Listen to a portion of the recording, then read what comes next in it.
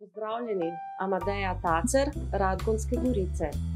Radgonske Gorice je hiša Penin za skoraj 170-letno tradicijo, največji, najstarejši peničar v Sloveniji. Priha nahajamo se v podravski vinorodni deželi, vinorodni okoli Štajerska Slovenija, pod okoliš Radgonsko-Kapelske Gorice.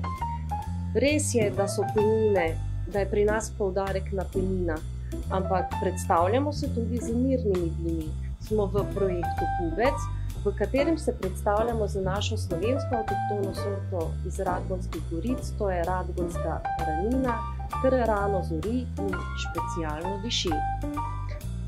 Pubec nam pomeni začetek novega vinskega letnika, letnika, tokrat letnika 2019. Pridite, poizkusite in delite z nami občutke novega letnika, novega Pubeca, letnika 2019. Vabljeni.